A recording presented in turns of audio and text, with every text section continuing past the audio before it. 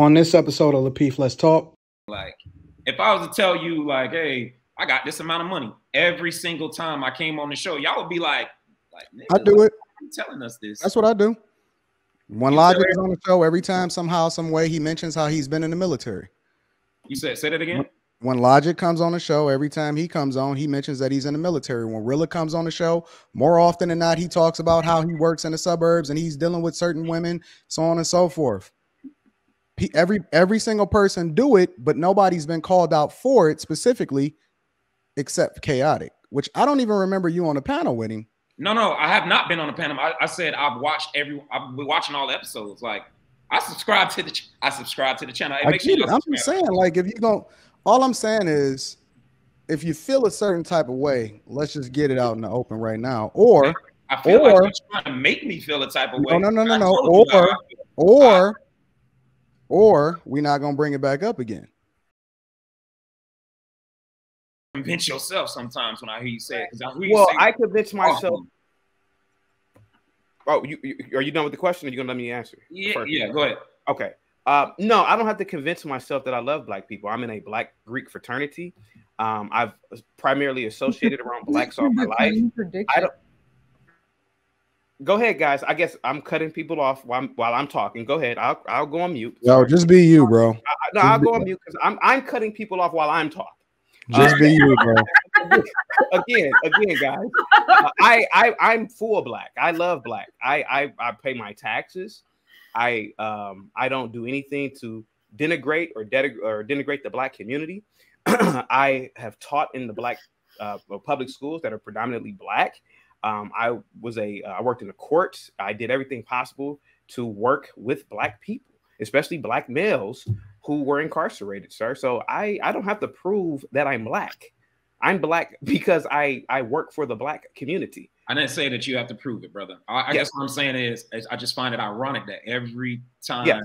I've watched, because I Yes. watch all of them, and it seems like every time you have to tell us that you're married to a black woman, you have to Yes. tell us that you love black people, and all these things, and it's like, why, why you got to keep telling us this? Like, Okay, so you don't want me to say those things anymore?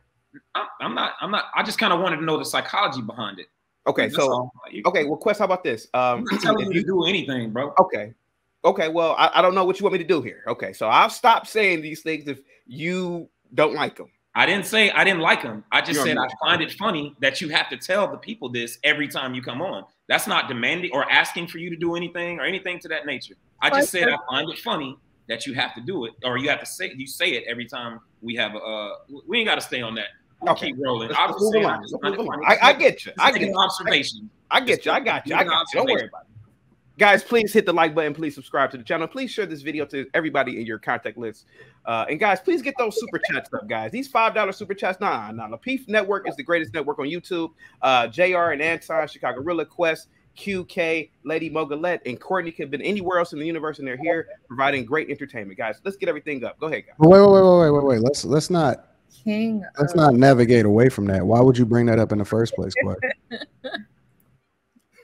because that I, I'm making an observation. Uh, it's a something that I've seen multiple times. Meaning what though? Because we all observe, but apparently it it triggers something specifically in you, and I'm trying to figure out exactly what it is that you're insinuating.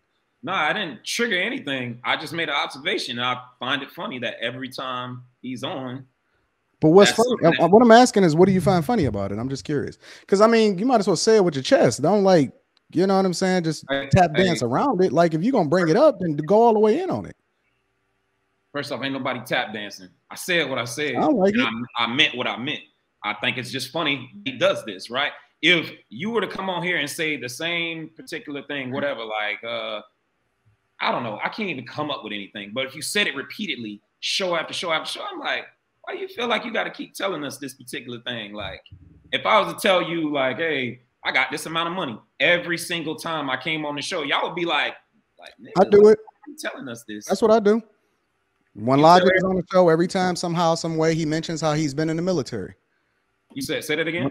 When Logic comes on the show, every time he comes on, he mentions that he's in the military. When Rilla comes on the show, more often than not, he talks about how he works in the suburbs and he's dealing with certain women, so on and so forth.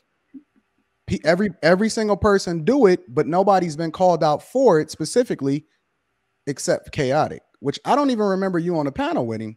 No, no, I have not been on the panel. I, I said I've watched every. I've been watching all the episodes. Like I subscribe to the. I subscribe to the channel. Hey, I get sure it. I'm just saying, like, if you don't, all I'm saying is, if you feel a certain type of way, let's just get it out in the open right now. Or, I feel or- like you're trying to make me feel a type of way. no, no, no, I no, told you how or, I or, or we're not gonna bring it back up again.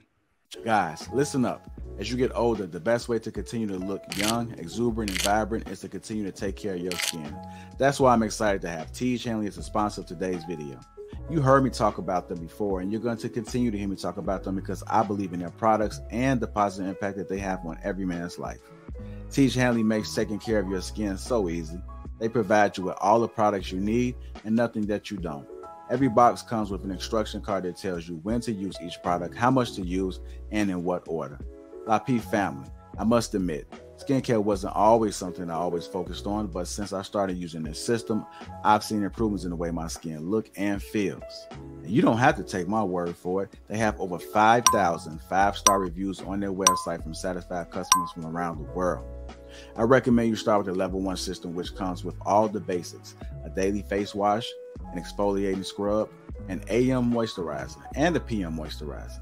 In addition to amazing skin, members of Tiege Hanley get tons of benefits, including at least 20% off retail price, the ability to customize your box, pause or cancel at any time, and free US shipping. And because Tiege Hanley is sponsoring today's video, they're offering my viewers a great deal. Just click that first link in the description and you'll get 30% off the first box plus the free gift. Seriously, that's an amazing deal. Even though it's too early, as I often say, it's never too late. Click that link and get started today. Should women hold off buying a home if they plan on getting married? Should women hold off buying a home if they plan on getting married? I'm gonna start with you, Island Girl Q. What your thoughts about it? You know, it's funny. Uh, I saw something on Instagram, and That's where I got it from. People- Yeah, people, I- sent it to me. I saw it. I'm like, man, that's kind of interesting. Go ahead. What did it say? It says something like, "Women don't buy your own house because no man is gonna want to come and live with you. That's masculine, or something like that."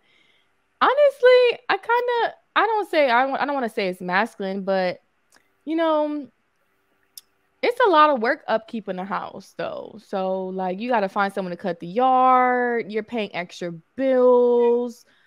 So I mean, but it is. It, I I kind of understood where they were coming from because men usually want to have their own house. I don't usually see men moving in with women.